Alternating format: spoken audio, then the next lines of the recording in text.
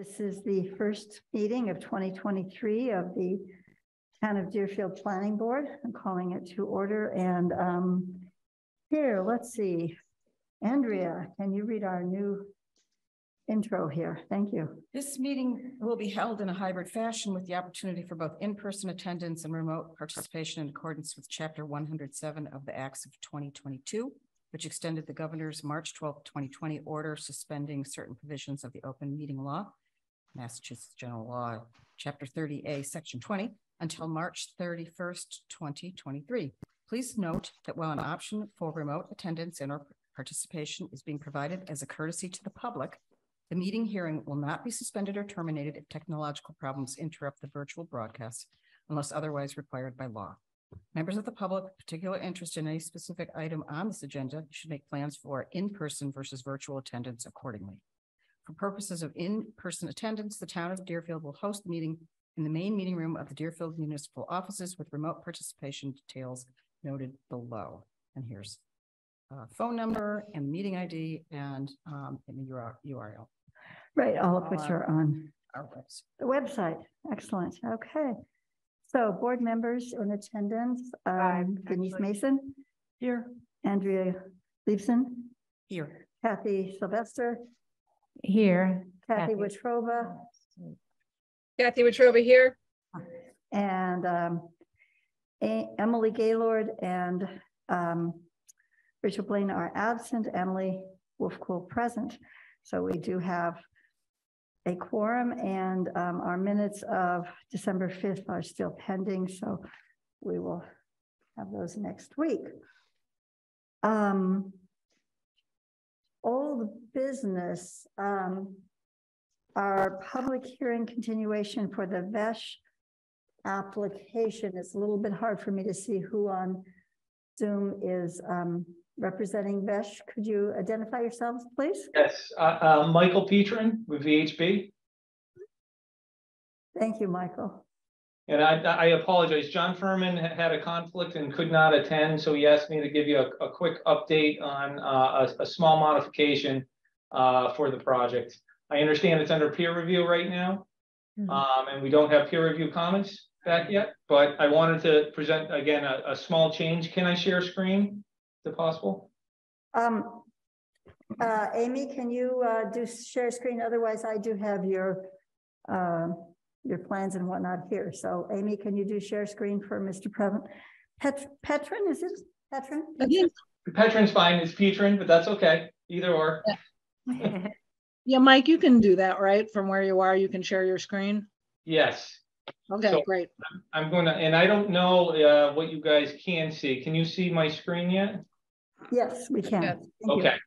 And and and is it, is it visible? So here's, here's Greenfield Road, the entrance to Vesh. Uh, the the existing parking lot and the expansion here. Can you all see that? Mhm. Yes, Okay, I'm gonna zoom in. What Vesh would like to add is uh, a concrete pad for a modular building. This is gonna be for uh, a CAT scans here, right here. Um, as part of it, there is right now uh, a gravel drive. Here, let me flip to a different plan.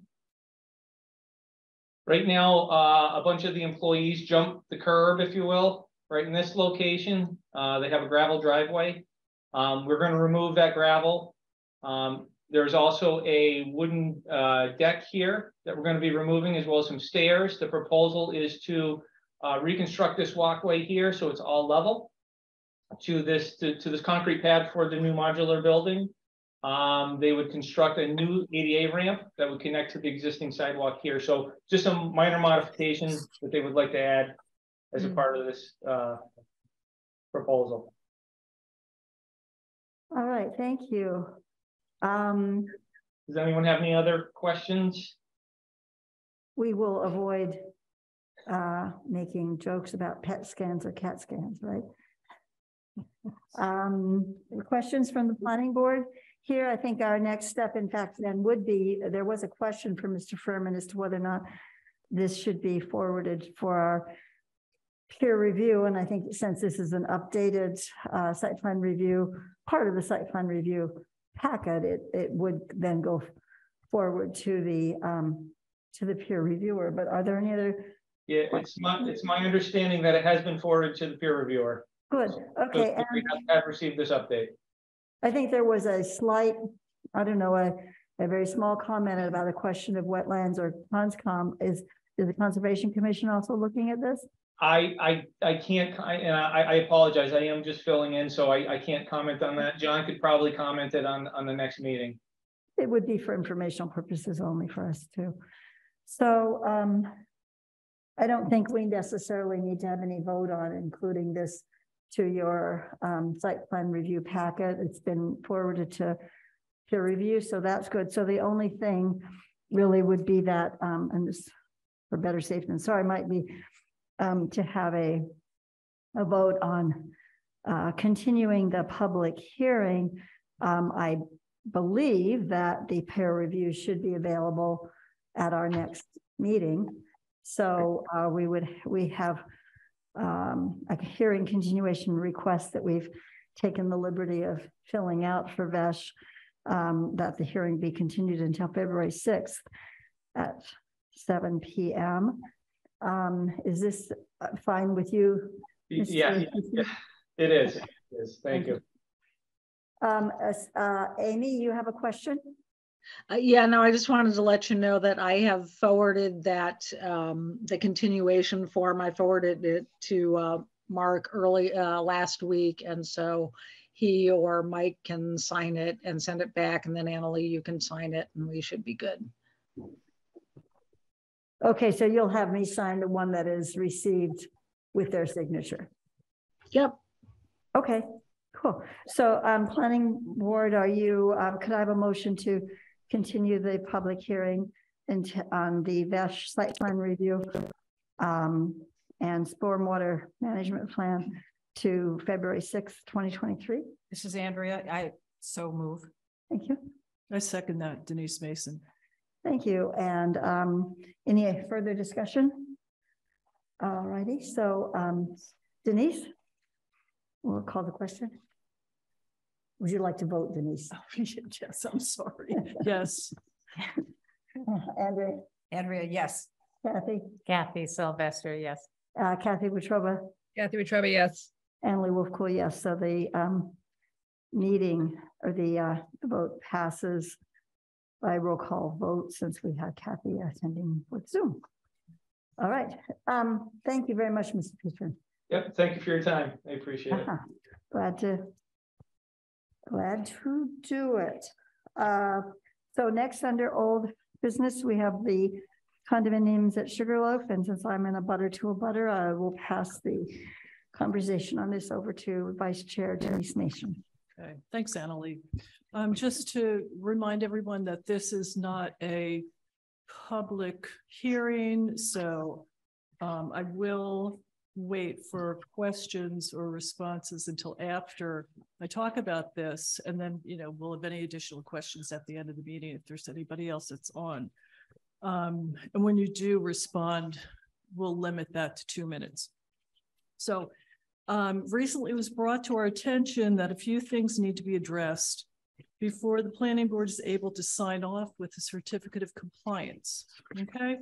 Um, there are silt sacks that need to be removed, stormwater system needs to be cleaned out, and the catch basin with the silt deposit needs to be stabilized. Now, I understand that it's a difficult time of year, things may be frozen, and, you know, the silt sacks are probably still in place for a reason, I would, I would think, and as well as the, um, stormwater system. It probably hasn't been cleaned out for a reason. I don't know what that is, but it may be premature to do that. Uh, you know, we, we may, we understand it may be difficult to do it. You know, I don't know if the ground is frozen there. But at any rate, um, we can't do that until then. So, and it's also come to my attention, something about which uh, I'm not even going to address today because we just got that today. And Mhm. that's something, I'm not even sure whether that's under our purview, and it's something about obstructions in an easement area, so that will have to be addressed at another meeting. Uh, let's see, so, you know, aside from that, we did get a good peer review. I don't think there's anything th- that's disputed with the peer review. It's just a few minor things, a few housekeeping details, Mark, that need to be cleaned up before we're able to do that. So, um, yeah, I mean, at that point, I don't really have anything more to say about that. So if you want to respond to that and then anybody else. Certainly. Uh, Yeah, so just to uh, make it as clear as possible to the board how this process works, as it's been explained to me by my engineer and by my excavator. Uh, Both have been doing this for decades.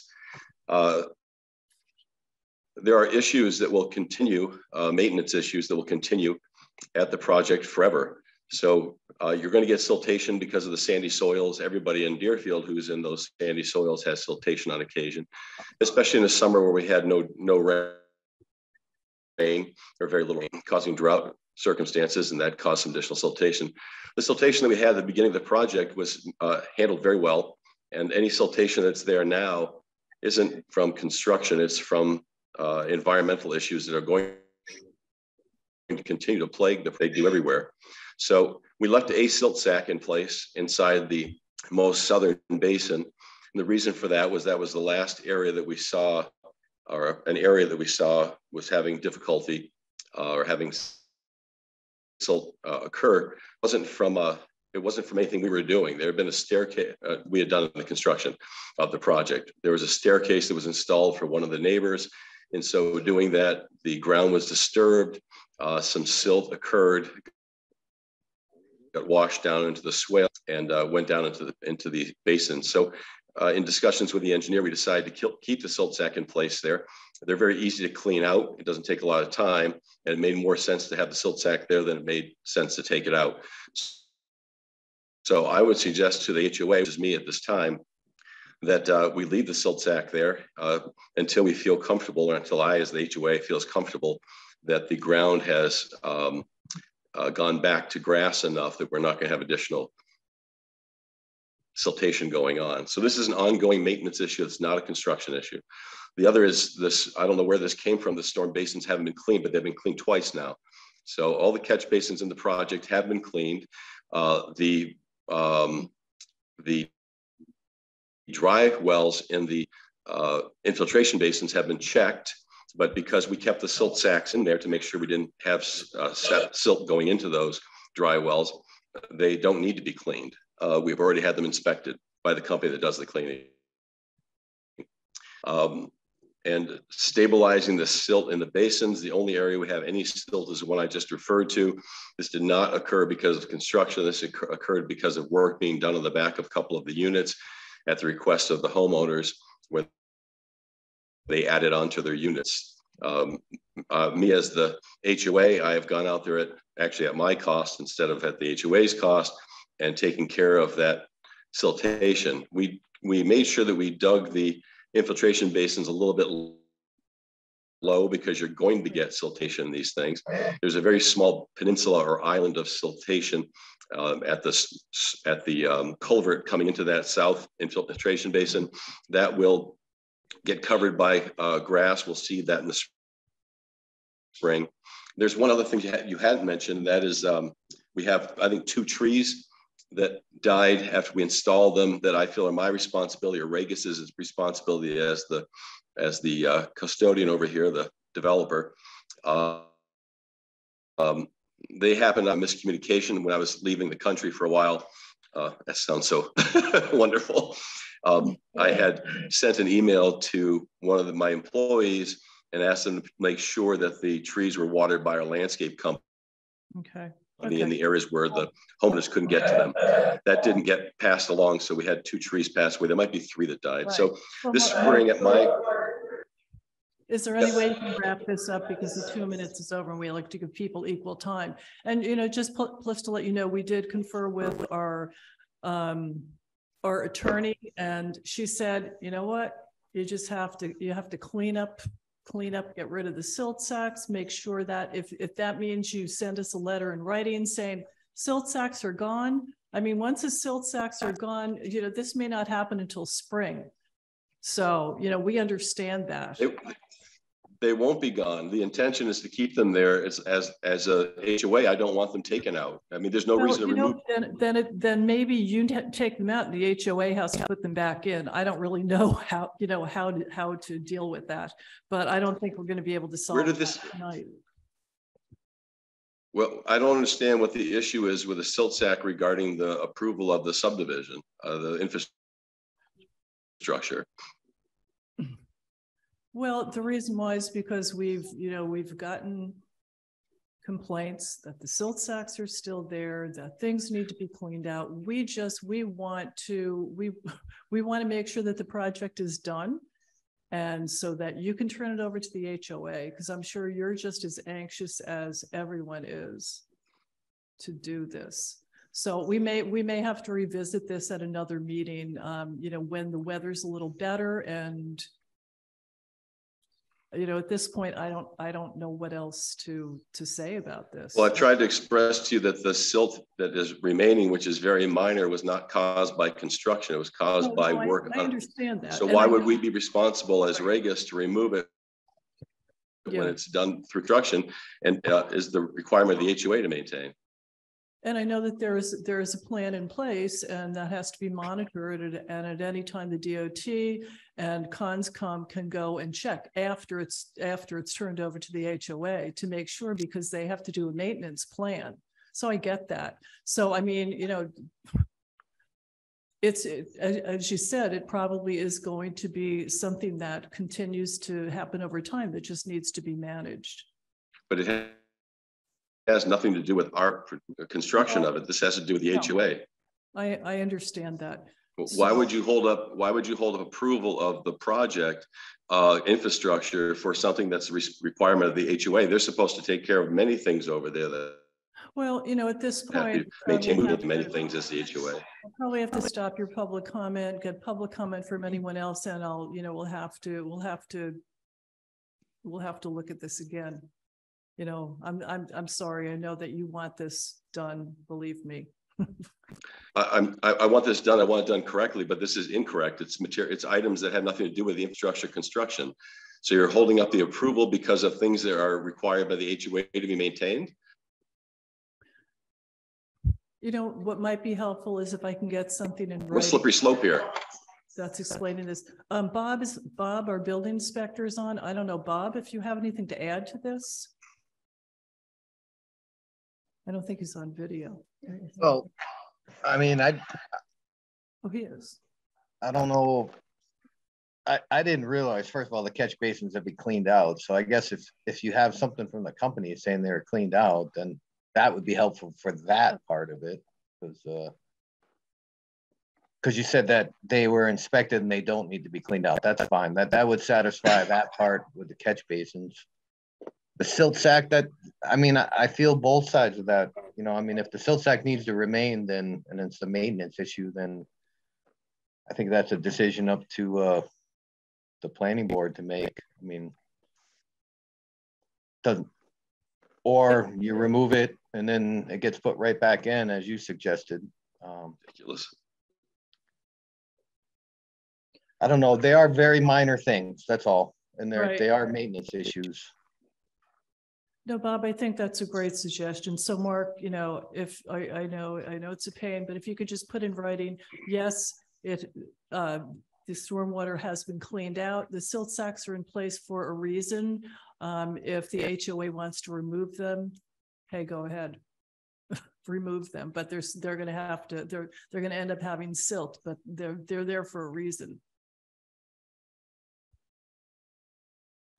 Yeah, and if I'm if I may, I, I think that would satisfy the town's obligation if if if you just put something in writing saying that they need to remain and that the dry wells or they were inspected because you know I don't know. That's what the issues still seem to be remaining that have been brought to everybody's attention. So Mark, you know, uh, yeah, I don't want to, I, I would really like you to enjoy the rest of your vacation when you get back. If you can put something in writing, send it to us and we can, I don't know if we can address this at the next meeting. Annalee, do we have time? We can put it on the agenda for our February meeting. I'd have been happy to have it for this meeting, but I did not receive any information regarding these supposed issues until Friday afternoon. I know. So we have done the best we can by me contacting my contractor and by contacting my engineer. There are several other issues that came up as well that appear that have been un- understand now that they aren't issues. I don't know if that's the case or not, but we saw a letter from Mr. St. Peter as well as another letter from you stating other issues as well. Do not want to, I'll, I'll address all those in a letter to the board. Right, right. No, it wasn't a letter from me. It was a letter from Mr. St. Peter that was sent to me that was then distributed. I see. Well, there's Right. two then. There appears to be two letters from him. Yes, I'm happy to answer all those, but appear, apparently that's not of interest tonight. So I will uh, put those answers. I have them from my engineer and from the uh, the contractor. Um, I would like you to understand that the, well, I won't go into it because you don't want to go through that tonight. So um, I find this very disconcerting that the approval of the infrastructure is being held up by one person's beliefs that certain items have not been maintained correctly or done by the by the uh, developer, when as we've already made clear to him and to others multiple times, that this is a maintenance issue that will go on with the HOA for a very long time. So I will confer with my account, or my attorney and my engineer and my uh, excavator as you have consulted with your attorney, and we will decide what, what position we take. Thank you very much. Thank you, Mark. Okay. Any other public comment for this? Bruce, go ahead. If you please come sit down. State your name. Your address, please, St. Peter's, nineteen B Snowberry Circle. I'm sorry, I have to, uh, and two minutes, please. pardon. Thank you. I'm sorry, I have to, uh, hold this project up too. Uh, I am quite concerned that the catch base, uh, the uh, dry wells have not been cleaned. Uh, and that's one of the reasons I mentioned the silt sacks behind lot sixteen. Uh, that one does not operate at all. That silt sack is plugged up. Um, I would like to see a certified letter that all those, uh, catch basins and dry wells had been cleaned from construction. Um, since I know in one catch basin, there's a two quart liter bottle been floating around for probably a year now. And the other one has, uh, has, another one has concrete, uh, pieces in the bottom. So I would like to see a certified letter from somebody that has inspected those dry wells. I don't have an issue, I personally don't have an issue with, uh, uh, uh. Mr. Whiteman is per, uh, perfectly, uh, in line with that. What I do have an issue is they may not have been removed and they may not have been thoroughly inspected for buildup of silt. My other question, thing that just came up today is I see that uh, Regis LLC, Mr. Martin, has uh, changed the access, the easements on a deed that was filed December twenty-eighth that are different from the original definitive plan. Uh, inside of that easement, uh, there is a row of arborvitae's. And also with that easement, the easement now would require any heavy equipment to drive over the oil water separator. And, you know, if, if it needs to be done, and from what I understand, that they may, may or may not need some heavy equipment renovation, you know, in a ten or fifteen year period. And I'm not so sure that those aren't like a septic tank that you start running heavy equipment over the top of them, that they will collapse. But that is, uh, that is where the easement, uh, the only easement is in the north, uh, uh, basin right now. The, uh, easement that was out of the driveway and up into the basement, uh, basin was not over the oil water separators, and that is marked as one to be, re, that easement is marked to be removed. Uh, That is two minutes. Changed around, and I don't think that's any big deal. But Right. those, those were the only Okay. comments that I And we do make. have that in writing.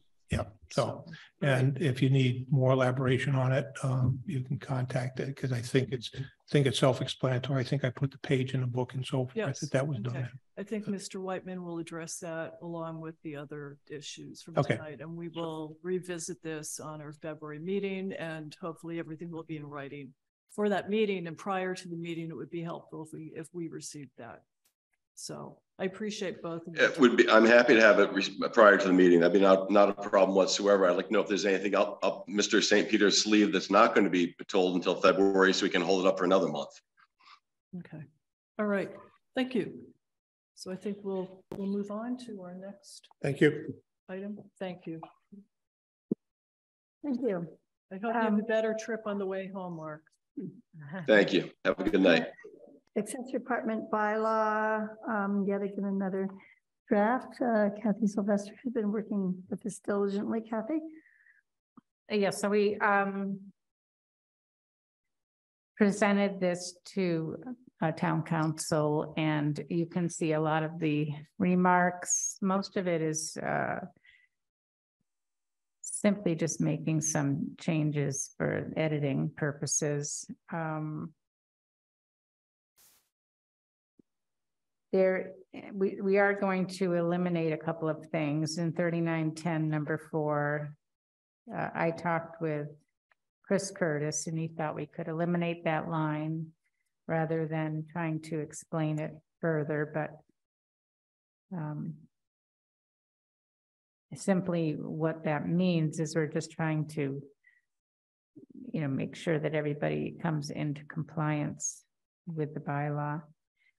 Um, the definitions, there was the question by uh counsel about whether that should be put in the regular bylaws under definitions, but since they're being redone, the the uh, bylaws we looked at.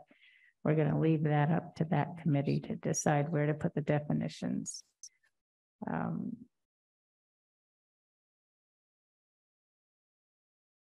See. There was a question about thirty-nine twenty and the, the size of the ADU. As we discussed at a prior meeting, we're not going for a simple majority vote. We're going for a two-thirds majority, so the language is in there is what we want.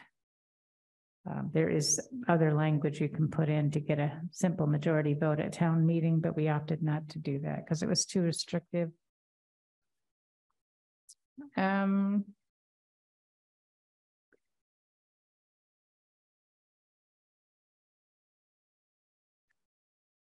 I did talk to Bob Walden.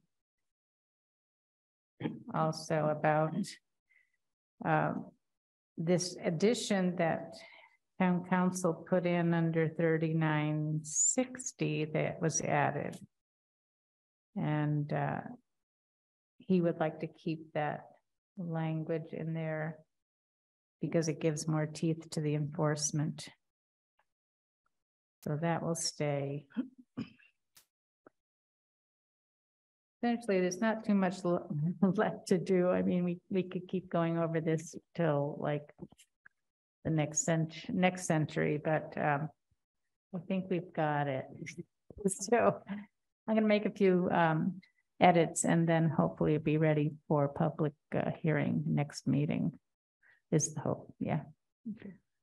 Denise? Yeah, Kathy, I mean, th- this is great, but you know what? Track changes is great, but I find it extremely Confusing, right? confusing Yeah, to it is. Read things and Yeah. do it. So for the next meeting, would you? Oh, send it won't be like this. Without track changes, just, Yeah, okay. yeah, yeah. Yeah. It'll be in its entirety, it cleaned up and, that would and be ready to great. go. Yeah. I think Thank what, you. what we will be voting on tonight is that this draft go to public meeting Mhm. next week. Yeah, Next right, week, next next month. month, yeah.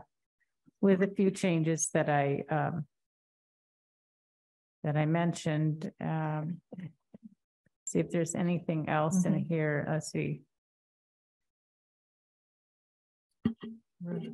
In thirty-nine, Comments there, there is a couple things, thirty-nine, thirty-two, Chris Curtis asked about where it says accessory apartments allowed special permit. Town counsel added the words, in addition to those accessory apartments allowed by right in section thirty-nine, thirty-one above.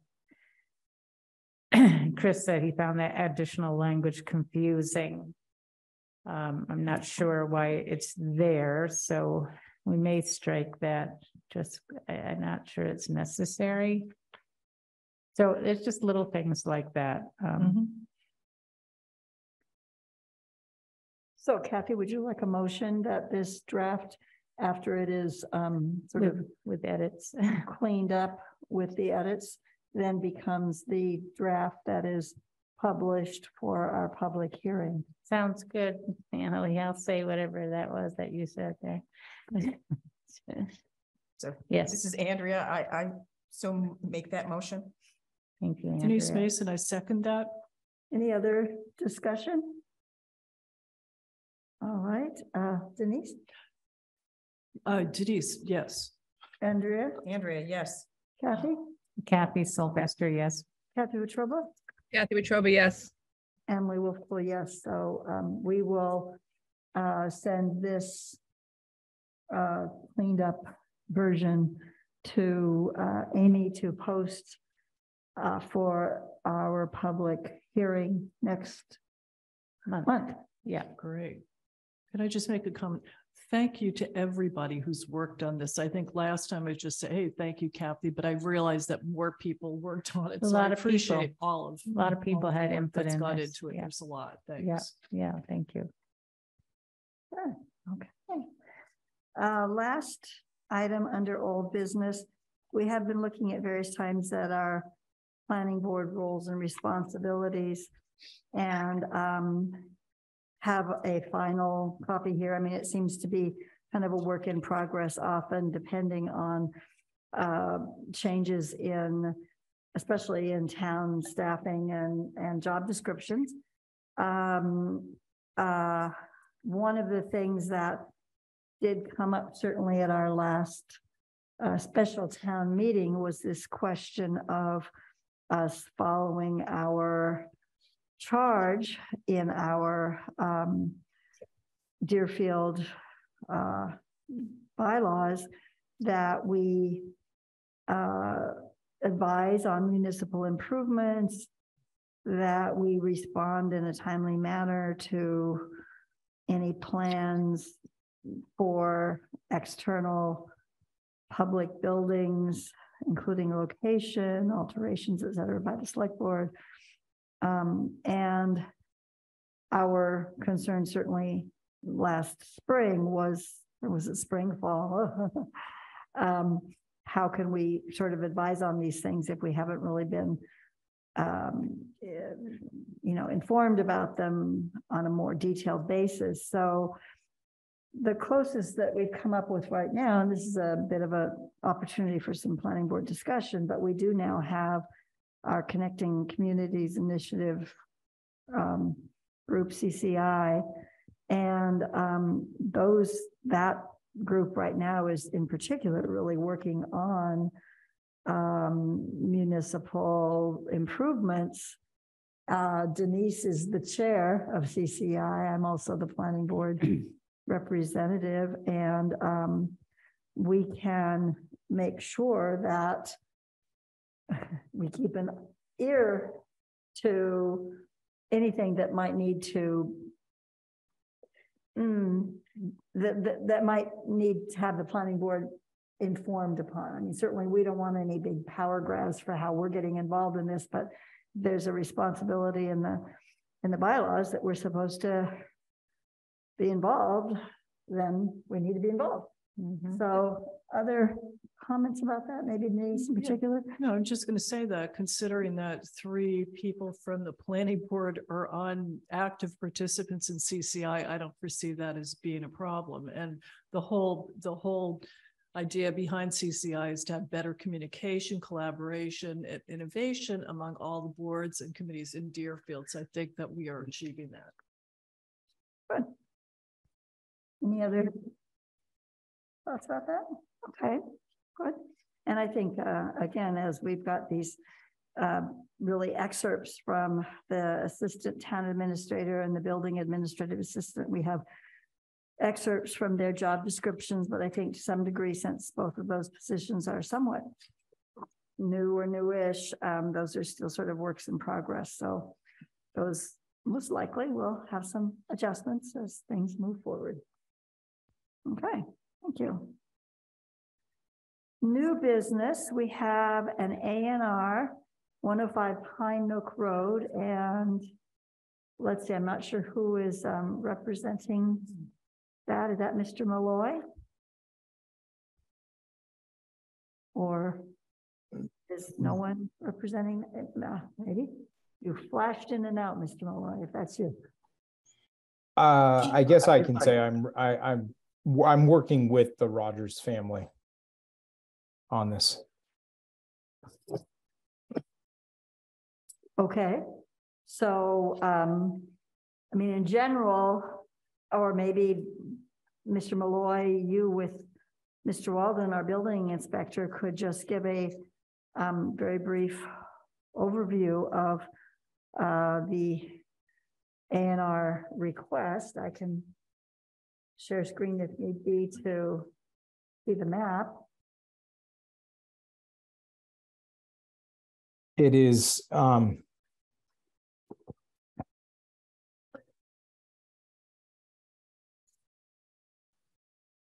There's the, yeah this, the, uh, the survey is just, is just re-identifying the, um, the, the land owned by the Rogers family is in APR, and this is the sixty thousand square foot exclusion for the house building lot. And this, uh, uh, site plan just shows, or this survey just shows that, that carve out of the sixty thousand square feet, the one point three eight acres um, that is going to be, um, uh, that is just going to be excluded from, from the APR land that they own that surrounds uh, the, the, the farm site itself, or, I mean, I'm sorry, the, the residential house itself. I'm, I'm sorry, I'm having a little bit of difficulty sort of understanding. Um, if we were to look at this map or Yes. this, this map, um, could you please? It's hard with me and my cursor and you over there, but what exactly are we talking about according to this? Do you, would you, um, see where you, the area that says locus? That is, that's the, that's the exclusion area right there. That Locus, lo, that, that right there is what is the, um, uh, is the sixty thousand square foot exclusion from the APR. That is what this A and R is for, right there. May, may I ask a- a question? Is the septic leach field across the street? Yes, it is.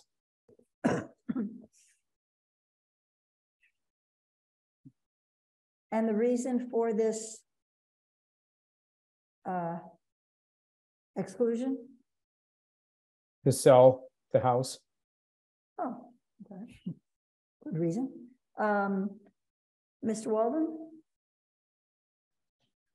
Yeah, I saw not, no issues with it whatsoever. I mean, it, it's, what they did is all legal lot. and I didn't know the reason behind it, but I, I don't, I don't take any issue with it. I see no problems with it. certainly is access for um, emergency vehicles and all of our criteria for A and Rs, so.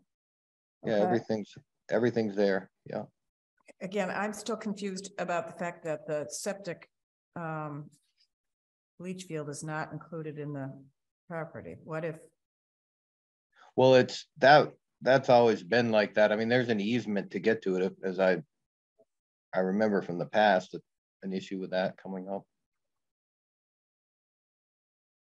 The septic itself in, in the leach field is in land that is classified as a, under APR. And there is, um, uh, under the current ownership, because the family owns it, but if there were to be a conveyance of the house, uh, there will be a license, uh, that will grant a, a new owner of the house access to the septic. Right, and when I would look at our A and R requirements, um, we primarily have to look just at access for emergency vehicles and, ooh, Bob, remind me, what are the other, there's two other requirements that we look at. Well, that I would have proper frontage. I mean, it has proper frontage and it's an existing house, an existing lot. They're just taking it out? excluding that from the protected land so they could. Well, sounds like so they could sell it, Right, okay, but it, it- it's a legal lot and has access and the leach field on the other side of the road is fine as long as if they did sell it, the new owner has a way to maintain it. But that's not, I mean, it's not for, Right, so is it, so some part of, some agreement should, will have to be included about that, yes? If it's to be sold. If it's to be sold. Yeah, but, but they own all the land, so they're really just def- redefining their lot lines Yes. is what they're doing. But but if they sell the, um, the, you know, if they take this exclusionary portion and sell it. Um, Yeah, Yeah, it, just wanna make i- i- if, if that excluded zone area is sold uh, under, um, under the Massachusetts Department of Agriculture and Resources, yes, a license will have to be attached to the septic area for the owner of the, the house to access the, the septic and leach field.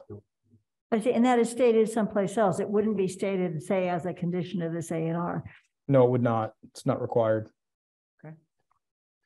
okay. I mean, legal, legally, the house has to have a leach field somehow, so you can't sell the house without it, really.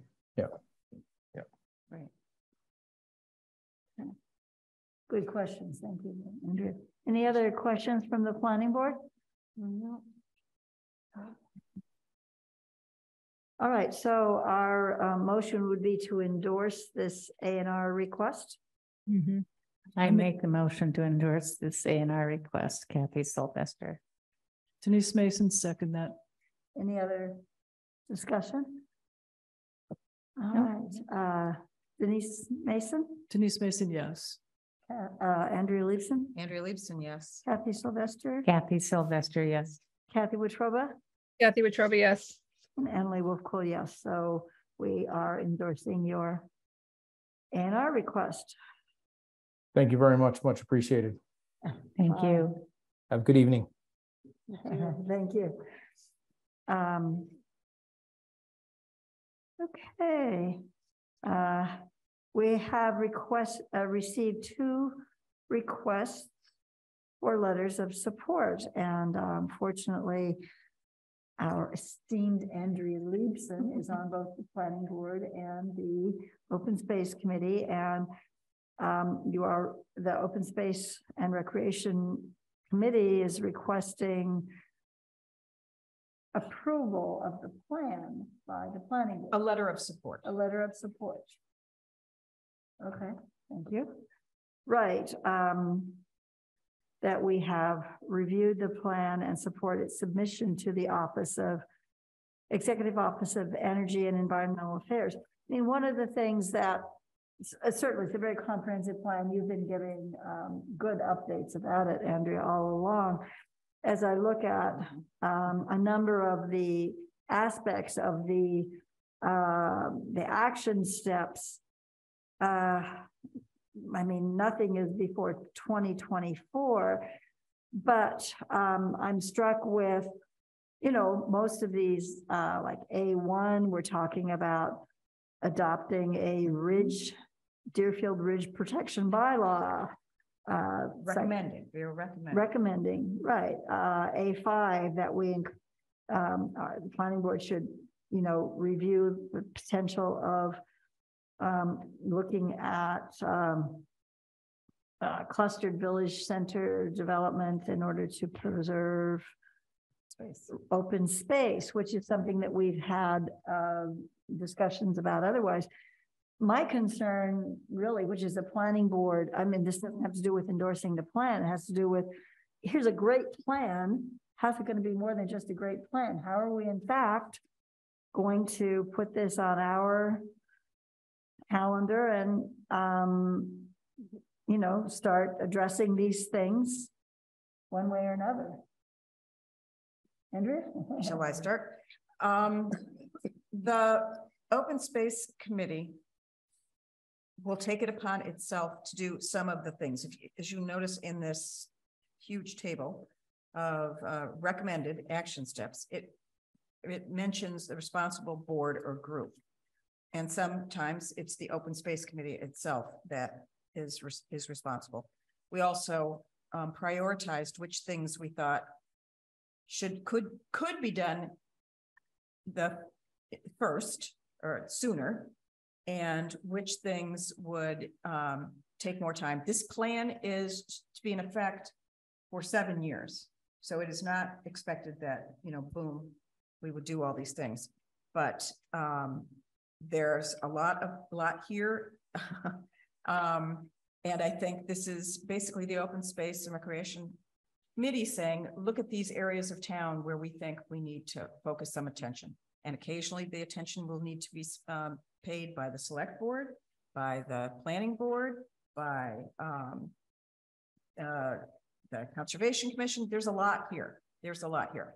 Um, it was our charge to make a whole open space plan. This section is one part of the plan. The plan is two hundred pages long. The report and plan, two hundred pages long. So I would encourage um different boards to look at what we've done and think about what they would like to achieve. And decide whether, you know, what priority they would place it So high priority or a lower priority. There's a lot here. Um, and I can speak to what the Open Space Committee believes it will make its highest priority, something it will work on soonest. Um, but I can't answer for the planning. board, And I wouldn't. Well, my fear though is say, for example, uh, B one is that the planning board develop, adopt, promote a wetlands bylaw. That would be sometime in twenty twenty-four. Obviously, it's not soon. Twenty twenty-four is a long time from now.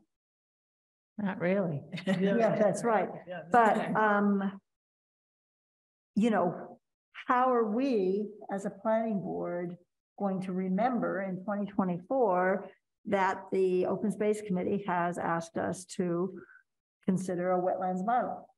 Well, it's a very good point, and in fact, one of the first um high priority actions that the Open Space Committee is planning to work on is based on a 2020 a twenty twelve report. So sometimes things do get kind of lost in the shuffle. I don't like that answer. It- it- it- You know, and we, um, and the Open Space Committee consists, um, largely of, uh, I think only one of us is not retired, and, um, we are all volunteers, and we look and think, Sure, my sure, goodness, sure, who's going to? Well, is it- So, Could it be possible, could we ask the Open Space Committee, as you are continuing to look at your um, action steps, that, you know, in one year from now, twenty twenty-four, you come back to us and say, all right, planning board, we have, um, we, we would like you to consider this year this wetlands bylaw. Um, so that we get it back on our agenda, because otherwise, I mean, I, we have so many good plans in this town that just, like you said, twenty twelve, you know, our complete streets. I mean, we have so many good plans. So I don't, you know, and I think, and we're all well intended, but there's so much, so much going on. So if, if you could keep our feet to the fire, I will, I will endeavor to do that. I will endeavor to tell the, um, Open Space Committee this as well. And I will, again, push for a professional planner who would be doing, keeping track of these things. absolutely, And absolutely. being able to gather the resources in order to, um, work on these things. Absolutely, absolutely, absolutely. We need help Denise. Well, I was gonna say, I mean, I look at this, you know, I used to do the same thing at my work. And, um, you know, it's basically strategic planning. It's looking at your internal needs analysis, external needs analysis, and then figuring out. And, you know, you've got the timeline, which is, I think is very ambitious. The whole plan is, but, you know, you have to have something to start with. And I think, you know, what you typically do is you continually look at it, don't put it on the shelf and you revise it year to year. Did you actually achieve that goal? Do you need to move that up?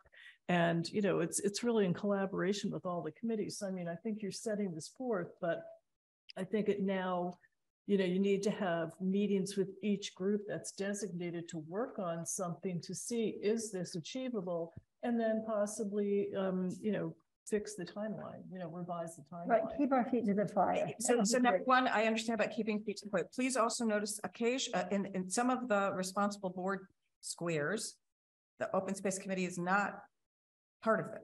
So, um, it- Right. it, it- it's, it's a, it's a concern, to see who will and how will things get accomplished. Well, but if they're not in there, this is, this is what open space has proposed, but I think it's still the open space responsibility to meet with the boards that if, you even if you're not in this square, you need to meet with the boards and discuss this to see, is this, is this reasonable for them? Because, I mean, it's not like you can just tell people, well, you need to do this and you're on your own. So it has to be a collaboration. But will I, I, thi- present I that think, to I, the- I think it's an open space amazing plan. I think everything that, that, um, you know, one revision I would say is on B thirteen. Um, you've got that just as a select board. I would actually add CCI to that because Well, we're okay. currently doing that. And one other picayune thing, the letter to Melissa, whoever that, I forget who that is. That's the person, this is, the plan is gonna go. Oh, okay, okay. The one thing, I just have this thing, um, it says, wait, where is it? The Letter to her. Um, trying It to think. Yeah, I've got the letter. I'm just trying to think where it says. I have this thing where it says you have, um, between all these boards and really when it's more than two, you say among. That was my pick. I'm sorry, I, Oh, Hold on, I'll find Instead of between, it's among. I Yeah. can do that because I'll, Yes, okay, okay, it should be you among. got it, thank you. got it. That's the only, Okay, that's. the I didn't write it. Sorry. so Okay. that's good. So um, may I have a motion to um send this letter of support to the Executive Office of Energy and Environmental It- Affairs? No, it will get sent to FRCOG, um, and FRCOG will Oh, put it together with the whole package. That is what we're asking. Yep. For either, um, paper copy that you give to me and I get it to, or, yes, okay. So I guess then the um, the motion is to um, give support to the os- open space and recreation plan as proposed in this letter. Is that good? sounds good. I so move. Thank you, Kathy Sylvester. And Denise Mason, I second that. Got a team going here. Any other discussion? No. No. Denise Mason, Denise Mason, yes? Andrea Leibson, Andrea Leibson, yes. Kathy Sylvester. Kathy Sylvester, yes. Kathy Wetruba. And Annalee Wolfcole, yes. So um, I will work with you, Andrea, to get Thank this on the proper letterhead and whatnot. Thank you. With a Uh, and we'd love it to have it, uh, by the end of next week, please. how about the end of tomorrow? That'd be great. And thank you for all that hard work. This is a lot of work. document. It's a Comprehensive plan, so well done. Amazing amount of work. Yeah. Okay, I'll wait till the, when, when we're gonna do other reports, I will tell you something about it. Right, I mean, and I think one of the things too, for the planning board to remember, as we often talk about wanting to have community engagement and involvement, um, as my recollection is that the open space survey actually had some fairly good response. And so this is a really good document that's indicative of things that the residents in Deerfield want to have. So we do want to keep looking at this. Yeah, I will discuss this and if it's. All we get right. down Reports. In reports, okay, thank you. Um, then the other request for a letter of support is from Senior Housing Ad Hoc Committee, uh, of which I'm a member. Um, last year at, uh, town meeting, uh, CPA funds were, um, approved for the Senior Housing Ad Hoc Committee to begin, um, uh, market studies, uh, uh, resident surveys, et cetera, um, to, uh, start significant work on moving forward with developing affordable senior housing in the town of Deerfield. Um, as often happens, or as certainly has happened post-COVID, um, the amount of money that we requested last year is falling a bit short. Um, it appears that the senior housing committee, they're, they're finalizing this, but we'll be asking for approximately sixty thousand additional um, for the next, um, town meeting to approve. And this would primarily go towards finishing work on the site evaluation, which very much will tie in with um, the work that is happening at CCI, uh, with uh, the libraries, uh, the senior center, um, the church, well, that's the church, uh, town hall, et cetera.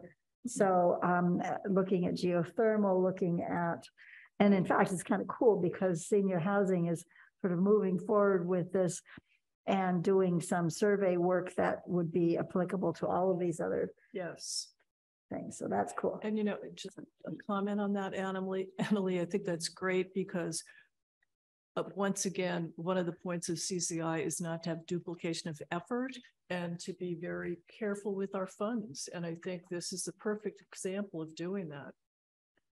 Right. Yeah. Yes, I think so. So if I could have a motion, um, what we would be looking for is that this is a, um, a planning board, um, support of the, uh, senior housing ad hoc committee's request to the, uh, CPC, the capital planning, or not capital, uh, Community Preservation Yeah. Committee, um, to, uh, to grant that we have additional funds. Whatever I said there, whatever she said. Um, can we have some, someone make a motion to support the senior housing ad hoc committee CPC application? I make a motion to support the senior housing ad hoc uh, request for CPC funding. That Thank was. Denise, and this is Andrea seconding. Thank that you. Any other discussion? Okay. Denise Mason, Denise Mason, yes. Andrea Leibson, Andrea Leibson, yes. Kathy Sylvester, Kathy Sylvester, yes? Kathy Wetruba, Kathy Wetruba, yes. and uh, Annalee Wolfcole, yes. Thank you. Okay. And I guess we get that letter to them by noon tomorrow, five P M tomorrow also, oh my goodness. Um, other business, um, not anticipated. Um, we have two items. One is, um, did just receive notification from, uh, FRCOG that, um, they are looking for applications for the DLTA funding.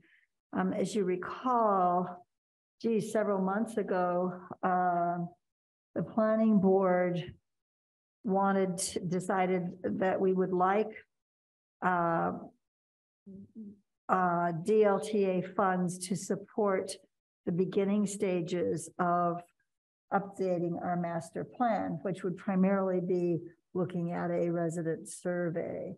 Um, my understanding, if I, and I, I, I didn't look closely at this application, but in general, my understanding of this, the process is that the select board then determines uh, three top priorities that would be requesting DLTA funds. I'll have to look at that more closely, but first of all, is that still the, um, what we would like to request the select board support? Andrea, you? The- For the, um, for the planner, uh, or support for a, well, yes, for the master plan, yes, sure.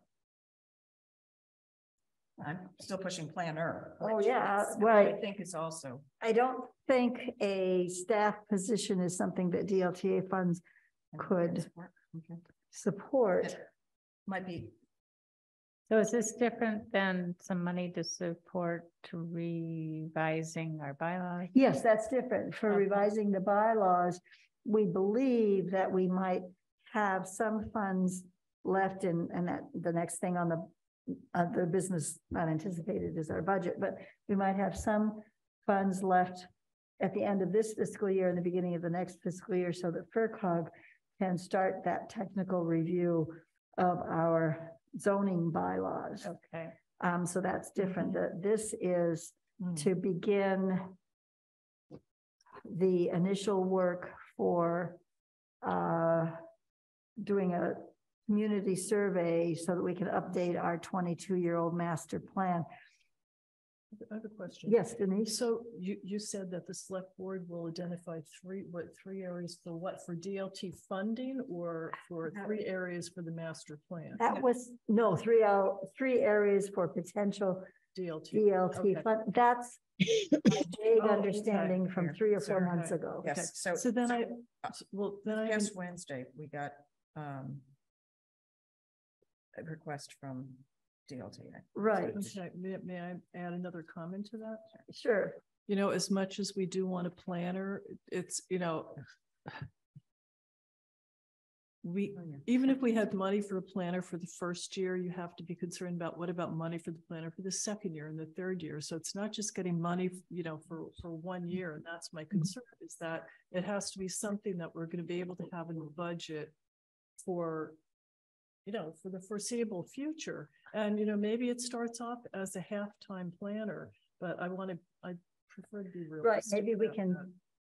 put that on two seconds from now. Okay. So right now, we're talking about the DLTA. These Uh, these are the areas, the DLTA. Right. Um. So I'm, I'm also trying to meet with Casey. I have a number of sort of housekeeping things that we're trying to follow up on.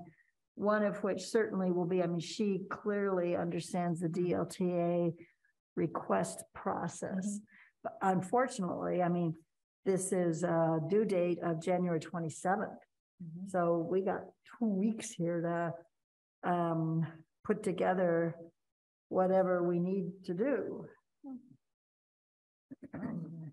It depends how extensive the process. Some things don't take that long.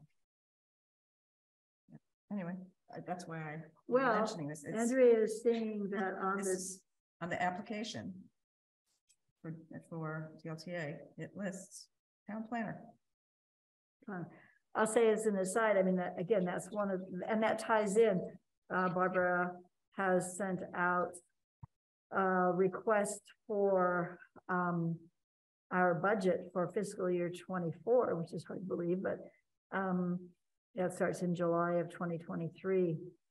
Um, and that is due to her also within a couple of weeks. It doesn't seem to say on this cover letter here, but um pretty, excuse me, pretty soon too. So the question is, and I have, I have done some initial research. There's a possibility that another town might be interested in sharing a planner with us. There are many considerations such as, you know, do we just go with looking for it for one year and then we see what happens the next year or not? I mean, this year we had excuse me, I'm so sorry. Eleven thousand, um, that was found in some pot in the sky, and so our actual planning board budget was only two thousand, and it's been seven. And that two thousand primarily goes to postings in the recorder so, for public hearings and So why was it cut from seven to two? because we netted, I mean, uh, before our, our, our gross, I mean, our, our amount was seven grand next, this year, our gross was really thirteen grand because there was eleven from some other pot. And so they reduced two thousand for this budget. So I'm not really sure how to go about, I mean, first of all, I want to make sure that, as Denise, as you were saying, I mean, we, you know, how can we continue to have support for planner? Um, Comia and FRCOG with this eleven thousand this year has, you know, been very important. Ken is working right now on updating our applications. Um, he's been a good, you know, resource for a number of things, so that's where I need to talk to Casey and find out specifically, you know, how can we make the appeal, especially to the finance committee and to whatever powers there Right, be. so, uh, so this, uh, this application from, from FRCOG for D, for DLTA, I think you can say, you can say, would you like to help in, in these areas? And you can say yes to a lot of things, but then the select board has to pick the top three. But it might be that they, that that it, it is seen that we have other things beyond just the top three. And maybe FRCOG could say, oh, we were really interested in this one area. We'd really like to help you with this because that town over there also needs that help. And maybe we could, so, you know, maybe there will be some synergy with other towns based on, you know, what we say. So I don't think you can only indicate three. Mm-hmm. You can, you need to say what your top three are. So for example, under, let's see, there's in shared services here, um, under zoning policies and plans, one of the options was, uh, is to create an open sp- uh, space and recreation plan. That's what we did in the past year. That's money was, you know, gotten from Yeah. DLTA to pay for the FRCOG, uh, consultant that we had, who worked with us very, very closely. So clearly this year, we don't, wouldn't ask for that money. How much money did we get I have for no that? idea. Yeah, I'm just curious. I don't know, yeah. How much money is available I for. DLT? Um, so, and then the- after, after the uh, open space plan, the next, um, thing that you could check is master plan. So Mhm. clearly, you do this, um, and then there are a variety of things, including zoning bylaw changes, and I just wanted, um, you to know that there's a lot of, uh, there are a lot of things that that Right. FRCOG might, um, has expertise in, Mhm. might help with. And I don't think we should just pick Right, only three things okay. with the. ex- Well, I- I with the think that's a really good question I to think, yeah, the next step is, I think for me, to talk with Casey and find out what's the process. So uh, this was sent, to- this was sent to Right. me in an email, which I found in- straight from FRCOG, so. Well, maybe None of it. because you were involved in the open space Maybe, plan, that's the reason why you got that. I got it too. You got, Because you were- were involved with the um apartment Oh. uh, accessory. no, there's, I, I don't have any idea. Yeah. So I, I'm, I'm not sure whether it's a question or Denise? comment. So, you know, in terms of the master plan, I know it hasn't been done in how many years? And I'm just wondering, and I, I don't really know for sure, but I think having a, you know, more comprehensive current master plan is going to be instrumental in accessing other funding. Yeah. that's So what, I think, you know, obviously that's incredibly important. Mhm. And s- eventually getting a planner. Agreed. well, I mean, it may be that, um, after my conversation with Casey, that we might need to have, um, sort of, for, you know, I don't know, informational purposes, people to send back what BCC, uh, you know, what are your thoughts about requesting DLTA funds for these areas? I, I, I don't really know what the next. okay, my comment for that is that we have a number of different things. We just talked about that with open space. How are we going to achieve all this? What I'd like to do is narrow it down, work on our bylaws, work on the master plan, work towards getting a planner and focus and not, and not be spread out over too many things. I I think it's really. Agreed. Those are the three things Yeah. actually that we have. Really do it and not worry about No, I- anything. Okay. Else. Those three Kathy? things are the critical things, the Yeah. master plan and bylaws and getting a planner. Exactly. That's it. That's all we can handle. I think so. Mm-hmm. And once we get those things, we'll go on to the next thing, which Yes. might, we'll work on the open, s- we got till twenty twenty-four on the open space. so we- Cool. So so we got, Still January. we gotta do this this year so we can be all ready for open space next. All right, that's very helpful. That's very helpful. So those are our three So- priorities and we'll see. Just so you know, I just sent to you too this uh, Yeah. email. Thank from- you. That's helpful. but it- The difference is I didn't look at it. Okay, Hey, can I just remind everyone when we're talking to, still talking to the mic, even though we I'm just sorry. think it's us, because I do occasionally listen to some of the meetings online and it's really frustrating when I see p- people talking among each other and I can't understand what they're saying. Yes, you're right. yes, Yeah. among or Okay. between. Um, Um, I know, I know. Yeah, uh, Amy, you have a comment? Uh, yeah, people were mentioning that they were getting letters um, regarding these things. And um, I think it's helpful. I keep records basically of all the mail. Um, if you have something that doesn't get sent to me, if you can send that to me and then I can keep it in the S drive and our files. I keep this stuff organized and that way we just have a record of it with the planning board, you know, with the other planning board records. I mean, unless you think it's not appropriate, but I'm, I'm just hearing that like, oh, there are letters asking this and letters asking that. And I, um, like I said, i- if it's something that you think is appropriate to keep with the planning board records, please forward it to me. Okay, Amy, I just sent, forwarded you the same email that um, I forwarded to Anna Lee and Denise, and that um, Kathy Sylvester had already gotten. We, we, we're not sure why they were sent to us. Okay, okay, great, thanks. There you go. okay. Um, I think that's all of the other business that I knew of. So you, so you are comfortable talking to, um, to uh, Casey about it? Yeah, and those three Okay. things, uh, as you said, I mean, these are things that we've been talking Yeah. about Just all year. year. Yeah. So this is Action, action. Yes. Um, is your hand still up, Amy, or is it just needing to go down? It's going down. There we go. Bye. No, That's okay. Um, public comments? Doesn't appear that we have any more public with us tonight. Um, reports, um, this time we'll start this way. Uh, Kathy, do you have any reports? You, you did your, Well, I've been to one meeting for the CPC. We have another one, so we've got more applications expected than we might have for funding for the first time. oh, wow. But we don't know for sure, but we anticipate that may happen. But um, it's pretty early in the process, so we don't know what we have yet. So I- there's not much to say. Okay, Yeah. that's good to know, though. That's a good top level report. Um, Andrea, you mentioned you might have some. the Oh, open space um, committee wants to, to, um, let you know that there is funding for trails through the Mass Trails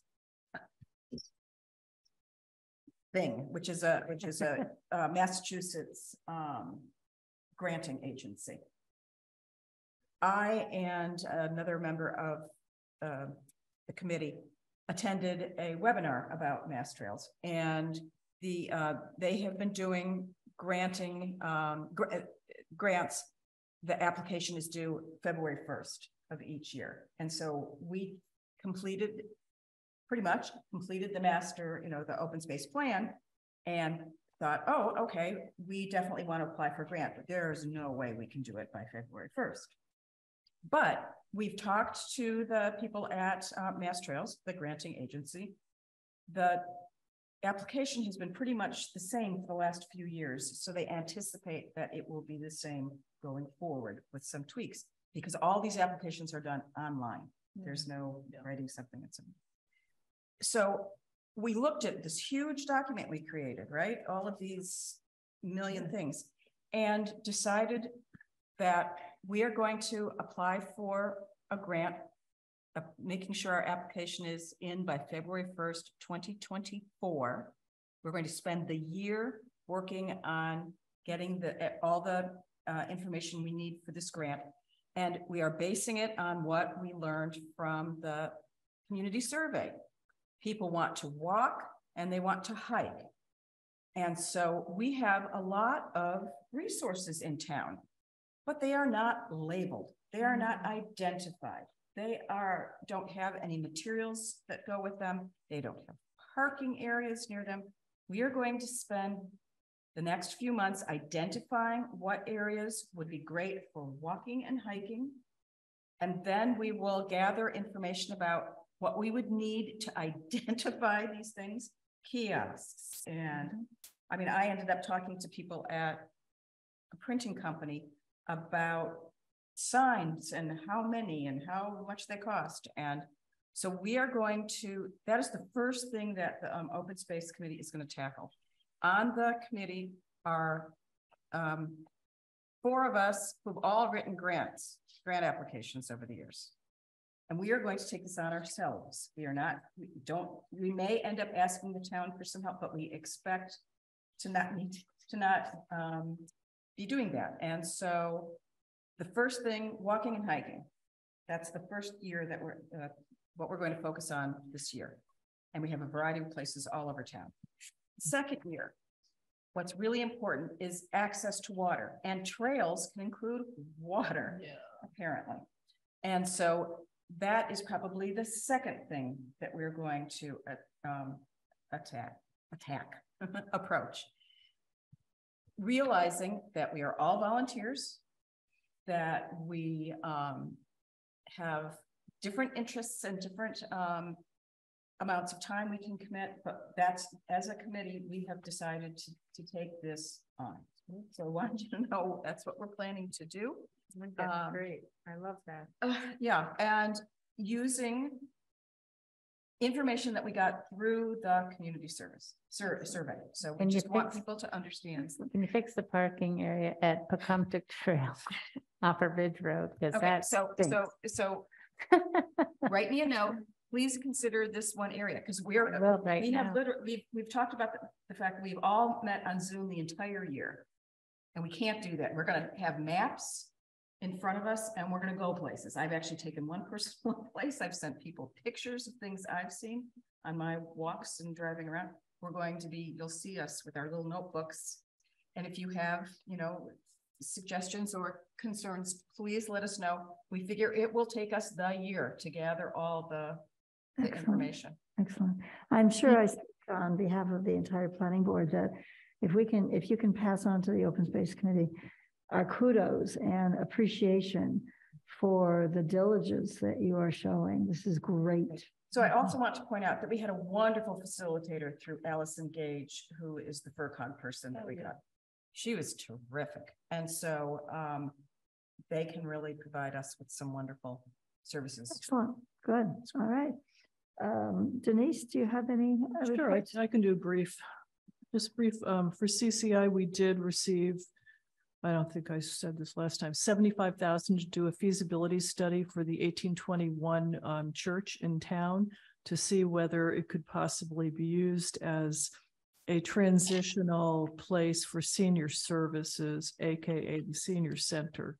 So that will be taking place hopefully in the next few months. Um, this was something that we started, but I wasn't really involved with, but I think it's really good. We did, the town did get um approximately forty thousand dollars from, oh God, I think it's community cabinet. And part of it is for to look at town administration, to look at the structure, to look at the Oh, gaps, to that. look, yes. Oh. And then also a big component of that is diversity, equity, inclusion, which is really good because it, it, it runs in tandem with the committee.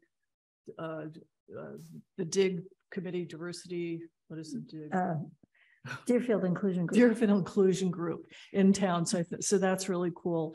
Um, I'm meeting with, I'm going to the um, MMA conference, the Mass Municipal Municipal Association Conference with the Select Board. And that will be the end of January. So we're meeting at the end of next week to come up with a strategy of how we can meet with different legislators, different people to try and access more funding for Deerfield. And one last thing, we did have um, the geothermal application. That's a federal geothermal exchange application. We got a really good review for that. And I just met with, um, you know, a few people today and we're going to respond to, I think, the, um, the weaknesses on the review. There weren't that many and put them in this week. So we should be, I think we're supposed to hear about that at the end of January, but it's looking hopeful. Which it's a geothermal exchange for the whole campus and then, and then we're also going to reapply for the, uh, oh God, what's the grant? That's terrible. I can't remember the name of the grant. We're going to reapply for the grant that we did not get. And hopefully, and it's, uh, it's, um, it's going to be mostly for energy and economic development because our new governor and lieutenant governor are really focusing on energy and economic Yeah. development. So, So the- so the federal one, how, how much money was that? the federal one, the first one for the um exchange, the the first phase is anywhere from three hundred fifty thousand up to seven hundred thousand dollars. And then if you're invited into phase two, then it goes up into the millions, a couple Great, million okay. dollars, which is really So, cool. and it's planning to start? Um, yeah, I mean, it's, it's, the first part of it will definitely be the planning and that whole piece. So I think- certainly, you know, with the geothermal, that's also what the senior, ed- uh, senior housing is Yes. looking into too. So Yeah. you want to make sure we don't, Oh, no, no, no, no, I think, yeah. Uh, CCI, I mean, Lily knows about. Yeah, that. We've, sure, we've talked about that through CCI. So, Okay. you know, so there, there's definitely a lot going on. okay, with Kathy, any reports for you, Kathy Wetruba? I have no reports, Kathy Wetruba. Thank There's you. none.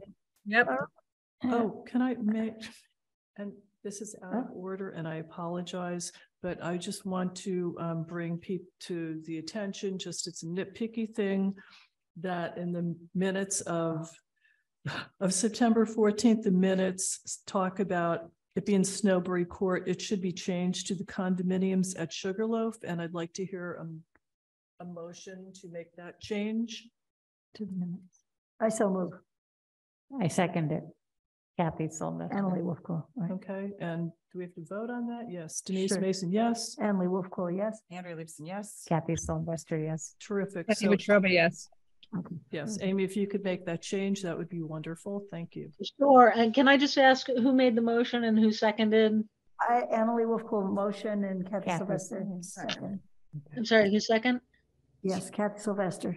Excellent. Thank you.